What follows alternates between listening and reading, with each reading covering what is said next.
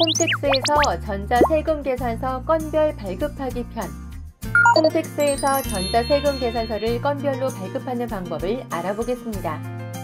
먼저 전자세금 계산서를 발급하기 위해서는 전자세금 계산서용 공동인증서 또는 국세청에서 발급해주는 보안카드가 필요합니다.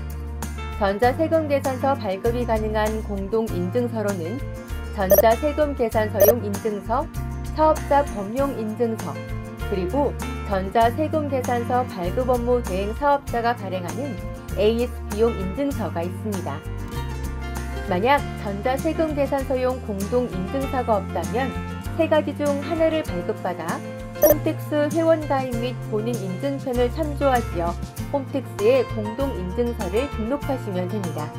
이제 전자세금 계산서를 발급해 보도록 하겠습니다. 홈택스에서 로그인이랍니다. 사업자로 로그인을 하거나 개인으로 로그인한 후 화면 상단에서 사업장 전환을 합니다.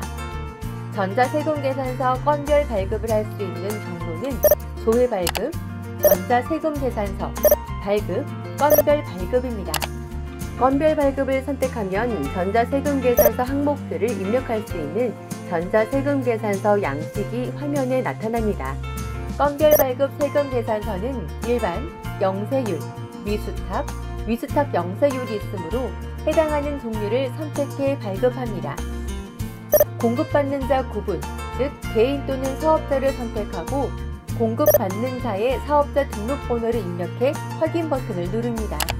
입력된 공급받는 자의 정보는 거래처 정보관리에 자동 등록돼 이후 세금 계산서를 발급할 때 사업자 번호 입력 없이 거래처 조회를 클릭해 불러올 수 있습니다. 그 다음 작성일자의 부가가치세법에 따른 공급 시기를 입력하고 품목, 규격, 수량, 단가, 공급가액, 세액을 입력합니다. 내용 입력을 다 완료했으면 발급 미리 보기를 통해 작성된 내용을 확인합니다. 작성된 내용에 이상이 없으면 발급하기를 누르고 공동인증서나 보안카드로 전자서명을 합니다. 전자세금 계산서가 발급되면 전자세금 계산서 승인번호와 메일 발송 안내창이 나타납니다. 이상으로 전자세금 계산서 건별 발급하는 방법을 알아보았습니다. 감사합니다.